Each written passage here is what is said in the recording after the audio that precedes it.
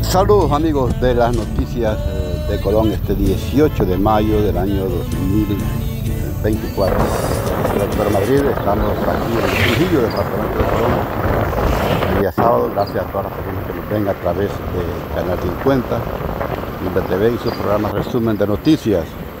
Pues hoy Trujillo está cumpliendo 499 años de haber sido fundada, una ciudad histórica vemos este momento la entrada a Trujillo, aquí es la barrio, barrio Río Negro, porque día que está cumpliendo 499 años de feliz existencia.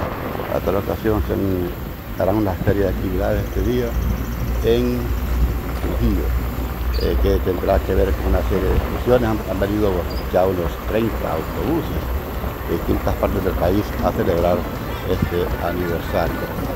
Aquí les comento, estamos por la calle al, presidio y estamos llegando al centro de la ciudad, aquí por el Boulevard, cerca de la iglesia católica. Es un lugar muy bonito, la Plaza España, contra la fortaleza Santa Bárbara.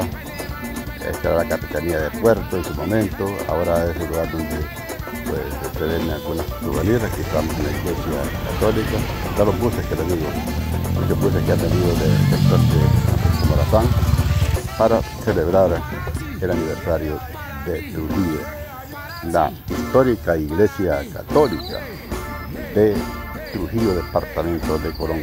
Este municipio, más que todo esta ciudad, pues explica historias, se recordará con el descubrimiento de América hace más de 522 años, ¿verdad?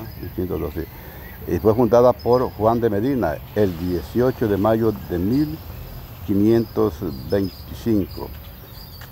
Eh, aquí estamos en el Paseo Juan de Medina. El próximo año Trujillo cumple 500 años, 500 años. Mientras vemos la gobernación política, eh, vamos a ver ahora algunas imágenes del Parque Central de Trujillo, departamento de Colón. Muchas personas desde muy temprano ya andan por acá eh, haciendo recorrido, son de las excursiones que han llegado hasta este lugar de Trujillo, departamento de Colón. Y les decía que esta ciudad fue fundada por Juan de Medina el 18 de mayo de 1525.